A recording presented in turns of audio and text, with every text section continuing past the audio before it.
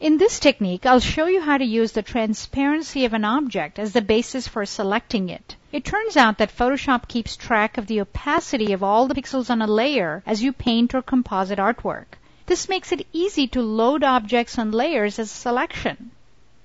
Let's say you wanted to select this orange bar long after it had been created to perhaps move it to a different location or scale or transform it.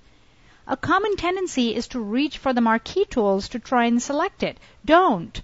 Since it sits by itself on a transparent layer, you can just as easily load the transparency mask for the layer as a selection.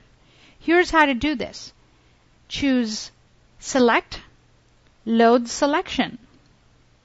And it's called Orange Bar Transparency in this case, named after the layer itself. Click OK, and this loads the opaque object as a selection.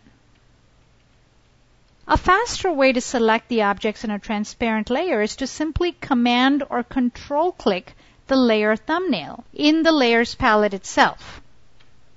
Here I command or control click the boat art.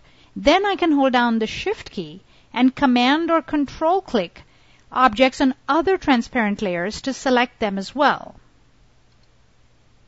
I use this technique a lot when I want to combine selections onto one layer.